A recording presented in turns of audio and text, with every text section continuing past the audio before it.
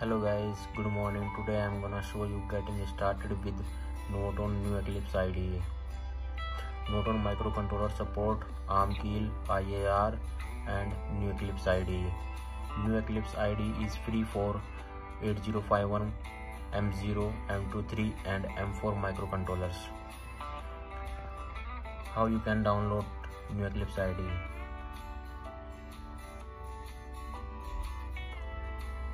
open the Nuvoton GitHub page and click on Nuvoton tool.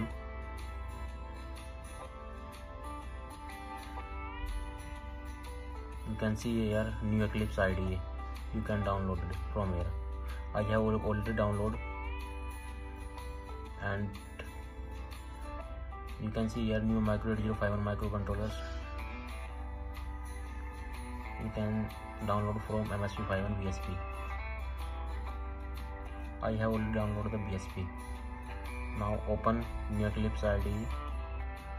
You can see here I have already opened GPIO output code. You can import the code. Click on right, click on this and import existing workspace you can select you can select the examples. Which you want to work. After this you can see here build. You can build the code from this button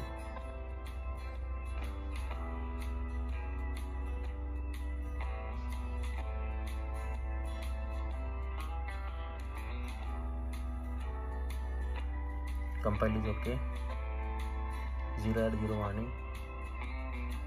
You can download from this button click on this.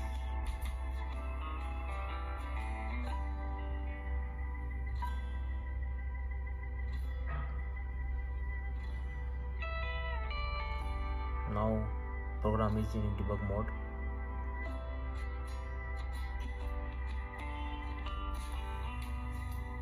you can run program click on this resume button. Now program is run. You can see here on hardware led blinking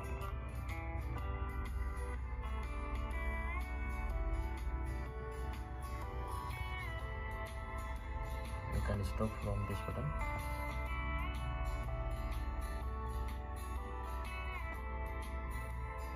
Thank you for watching